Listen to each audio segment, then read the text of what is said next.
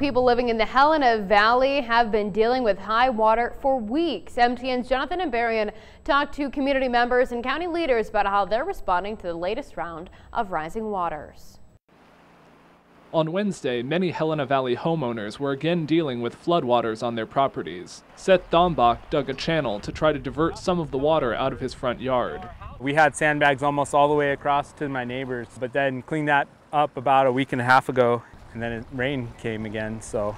Like many people, Dombach says he's been pumping water out of his basement for weeks, but he says the latest surge came as a surprise. People were sandbagging all night last night uh, because there's literally no, no warning enough till it's too late, and people are sandbagging in two feet deep of water.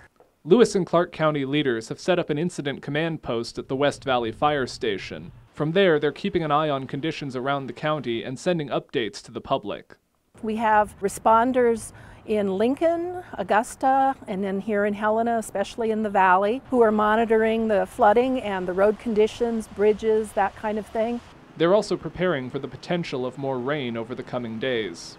We have to be adaptable and respond as things change, and the structure, this incident command structure, will help us be more flexible and be able to ramp up if things get worse, ramp down if things improve. Dombach says he's hopeful the waters won't remain as long as they did in May, but he believes the need won't stop once the flood is over. It'd be great to hopefully get support when the water goes down. There's a lot of people hurting, uh, going to be hurting. In Helena, Jonathan Ambarian, MTN News. County leaders say they will post flooding updates, including any road closures, on their website and Facebook page. You can find links to those on our website. Head to ktvh.com.